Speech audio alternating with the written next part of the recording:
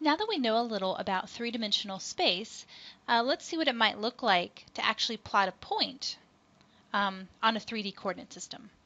Um, so instead of doing this in a computer program, I'm going to kind of imitate what you would have to do on your own piece of paper um, to give you a sense of what you need to do there.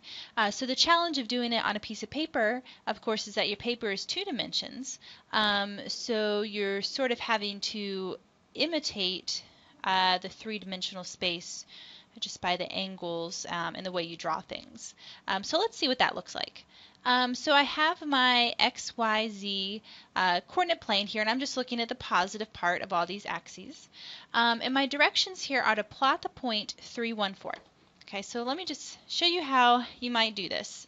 Um, so first, you, uh, you can start by going three units in the x direction. So that would get me to this point here. Okay, and I'm going to connect all my steps by dotted lines.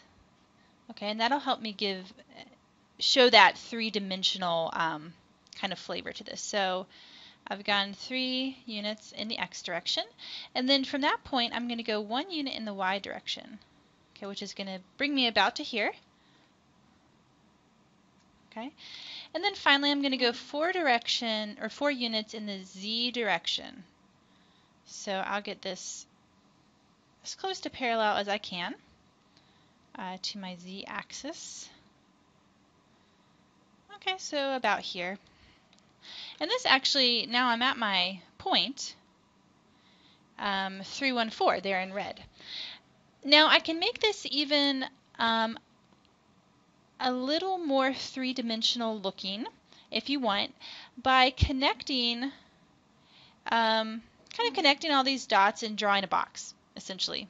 Um, if you remember in middle school or whatever, you would always draw those three-dimensional boxes on your paper. That's basically what I'm doing here, just to give me a better sense of how this looks. So I'm just going to connect everything here.